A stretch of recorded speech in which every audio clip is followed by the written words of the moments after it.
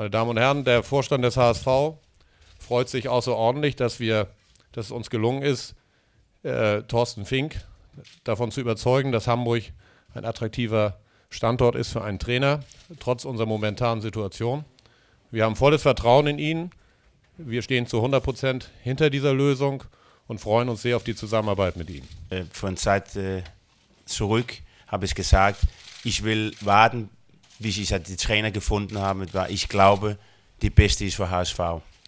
Jemand mit Leidenschaft, jemand, die Teamplayer ist, jemand, die Visionen hat, die Philosophie über Fußball, äh, die sehr gern äh, die Ball haben wollen in sein, seiner Mannschaft und auch jemand, die äh, eine sehr wichtige, wichtige äh, Eigenschaft hat und das ist Winnermentalität.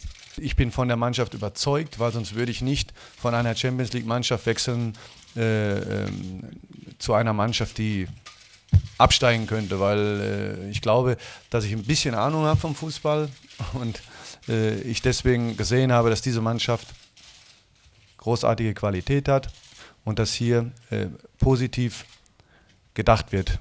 Wir wollen eine Message rüberbringen. Die Message bedeutet natürlich Spaß im Fußball. Die Leute sollen begeistert werden. Wir wollen die, die Leute begeistern, die ins Stadion kommen. Und äh, wir wollen nicht, dass sie gelangweilt wieder gehen.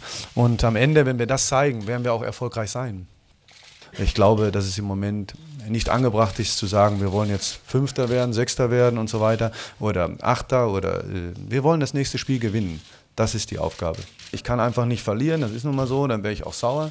Ähm, dass ich mit Leidenschaft dabei bin, ist auch so. Natürlich habe ich jetzt jahrelang bei Clubs gespielt, die äh, entweder um den Aufstieg mitgespielt haben oder die ähm, die häufig die Spiele gewonnen hat, das ist klar. Und wenn man bei Bayern lange war, wir wollten bei Bayern München einfach jedes Spiel gewinnen. Und es war egal, ob wir in Madrid gespielt haben, äh, es war uns egal. Und diese Mentalität müssen wir hier auch haben. Das ist, also mir ist es wirklich egal, ob wir in Madrid spielen oder in Barcelona oder ob wir gegen einen kleineren Verein spielen.